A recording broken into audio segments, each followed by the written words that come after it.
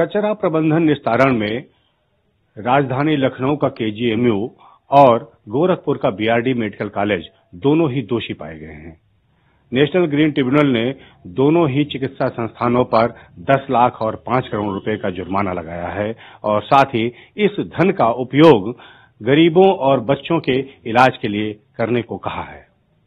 ETV Bharat के लिए लखनऊ से अखिलेश तिवारी।